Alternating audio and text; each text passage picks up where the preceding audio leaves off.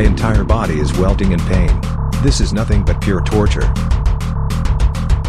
Being dunked into a burning, bubbling vat of old grease is absolutely unnecessary. Ow. Ow. Ow. Ow. We will not survive past this cooking cycle. Chicken raw. In my lungs. Rapeseed oil. In my eyes. Blister toes. Through my shoes. Burn my flesh. This life ends. Canola oil grease bath.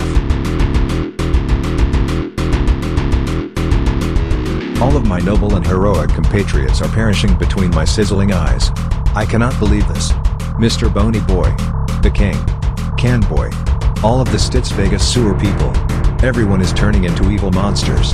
That's hot, hotter than Mrs. Chips. We will not survive past this cooking cycle. Chicken raw. In my lungs.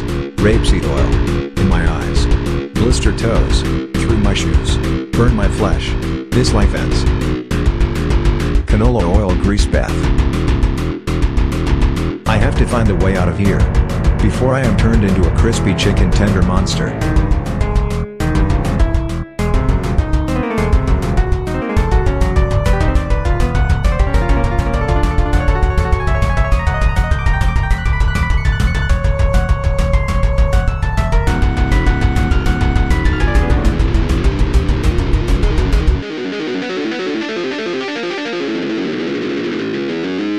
Chicken raw. In my lungs. Rapeseed oil. In my eyes. Blister toes. Through my shoes. Burn my flesh. This life ends. Canola oil grease bath.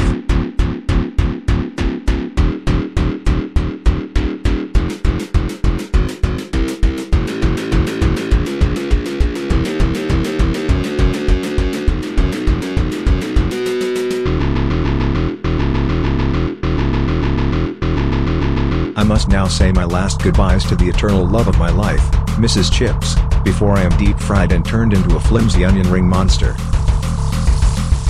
Ah stop it. Give me a few moments before we continue. It hurts so much. We will not survive past this cooking cycle. Chicken raw. In my lungs. Rapeseed oil. In my eyes. Blister toes. Through my shoes. Burn my flesh. This life ends. Chicken raw. In my lungs.